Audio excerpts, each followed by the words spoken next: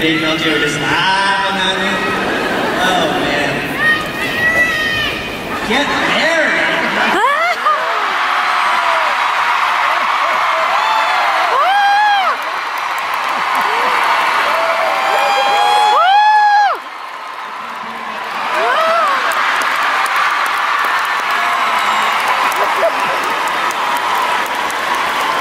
Oh my god.